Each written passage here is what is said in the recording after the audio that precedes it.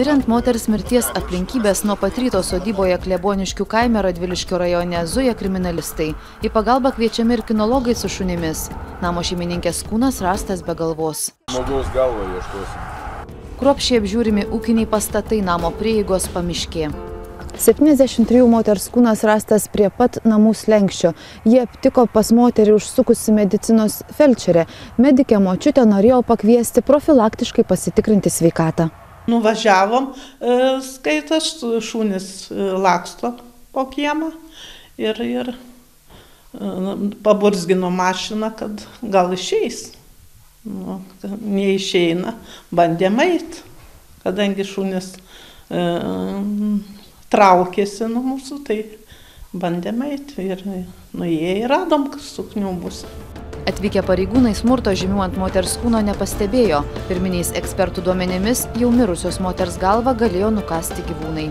Kadangi žmogus vienišas, e, viena gyveno, o šunys buvo, da prie miško, tai, e, tai čia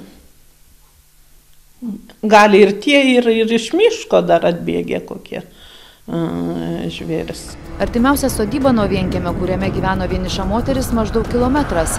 Pensininkė esą buvo uždara, vaikų neturėjo. Baisi. Nu tai jei gal neger paliko, jeigu lauk prie durų. Paliko neger. Tai painama ant autobuso aš matydavo, čia laukdavo, kai kad ant padėvės, kai kad ant šadvos laukdavo. Dar pagalvodavau, sakau, nesimeta nei šviesus jūs, nei kamens nerūks, jų čia vis nuo pat rūdienė, jau senai, senai. Kodėl?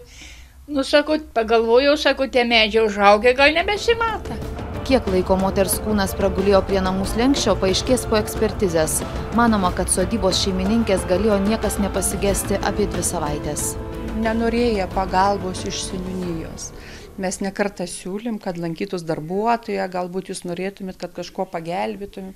Jinai nenorėjo, jinai jautė stipri, jinai nenorėjo, jinai labai veikli buvo šiaip mokytojai.